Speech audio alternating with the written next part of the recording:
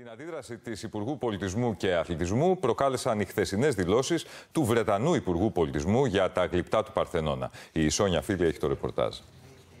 Καλησπέρα, Ηλία, κυρίες και κύριοι. Σε συνέντευξή του λοιπόν στους ε, Times, ο Βρετανός Υπουργός Πολιτισμού Όλιβερ Ντάουντεν, όταν ρωτήθηκε για τα γλυπτά του Παρθενώνα, διερωτήθηκε αν θα είχαν επιβιώσει από τους μενόμενους Ναζί στην Αθήνα κατά τη διάρκεια του Δεύτερου Παγκόσμιου Πολέμου.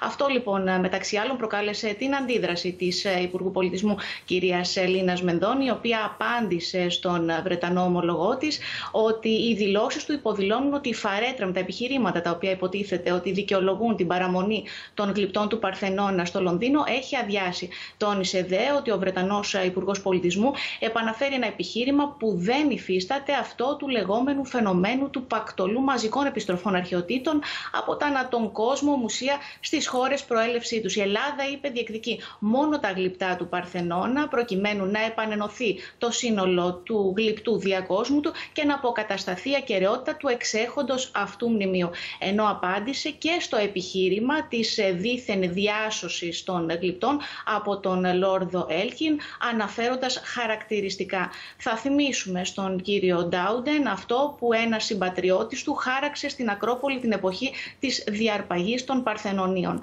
Αυτό που δεν έπραξαν οι Γότθοι το έπραξαν οι Σκότοι. Σε ευχαριστώ πολύ Σόνια.